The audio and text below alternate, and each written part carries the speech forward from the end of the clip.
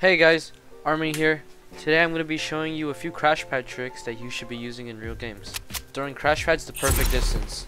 This is when you throw them on top of each other without changing where you're looking and you're going to see that all the crash pads will line up, making it easier for you to travel great distances without wasting any of the crash pads. The second trick is exploiting into people's boxes but taking piece control. I'm going to be throwing the crash pad up and then holding my builds out as I jump into the box. There's a delay uh, when you throw a crash pad to when you're equipping a weapon. So I'm gonna spam uh, switching to my shotgun here, and you're gonna see that it takes a couple, it takes nearly a full second for me to pull out my shotgun. And one thing you can do to buy yourself more time is to add an extra wall, throw it, and you'll be able to get into the box a little easier. Now the last trick is what to do when someone has a ramp in the box to counter it.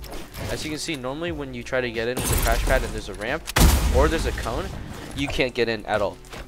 But what I found out is that if you take control of this floor right here, edit it like this, and place a cone, and throw the crash pad right in the centerpiece, it lets you get into this the opponent's box immediately, even if they have a cone in their box. And I'll show you this time with a cone. You get right in. Thank you guys for watching. Uh, please share this video if you found it helpful. And I hope you have a wonderful day.